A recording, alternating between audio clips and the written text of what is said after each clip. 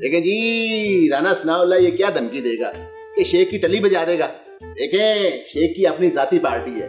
शेख अपनी पूरी पार्टी समेत पार्लियामेंट के सामने धरना देकर पूरे इस्लामाबाद की टलियाँ खड़का देगा। जी बिल्कुल बिल्कुल। आपके लिए कोई प्रॉब्लम नहीं है। आपकी तो पूरी पार्टी एक कुर्सी पे आ जाती है। देखें जी आप शेख का मज़ाक उड़ा रहे हैं। और शेख साहब मज़ाक तो हमारा बन गया है। रात को सोए थे तो मिनिस्टर थे सुबह उठे हैं तो खाली मिस्टर ही रह गए।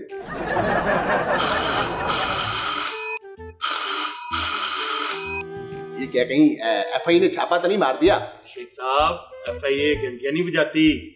सीधा दरवाज़ा तोड़ के अंदर आ जाती है। बिल्कुल सही कहा। वो तो सोते में बेड से बंदा उठा के ले जाते हैं। बंदे को तब पता चलता है जब उसकी आँख हवालात में खुलती है।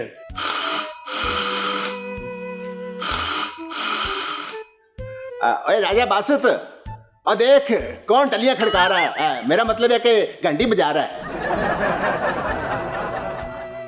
ओ शेख साहब बाहर तो कोई नहीं जी। वो लगना है टल्ली अपने आप ही खड़क रही है। चलिए अपने आप नहीं खड़कती जब तक नैब बटन ना दबाए।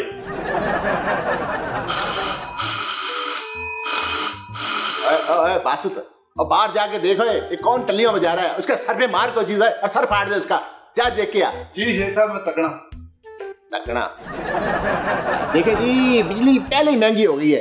पता नहीं किसने टलियाँ मार मार के आ, दो चार यूनिट साड़ दिए।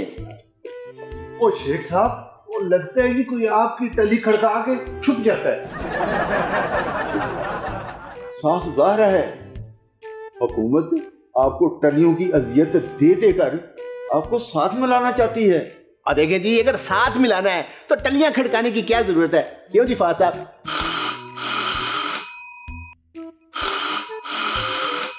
अब शेख खुद बंदा ढूंढेगा जो बार बार टलियाँ बजा रहा है। इससे तो मेरा बिल तीन चार सौ रुपये बढ़ जाना है। शेख साहब बाहर ना जाए बाहर बहुत हालात खराब हैं।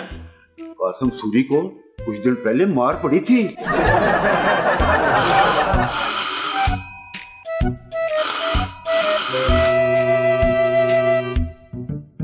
अरे राणा सनाउल्ला खटक साहब मौका अच्छा है। इसको यहीं गिरा दें और बाँध दें।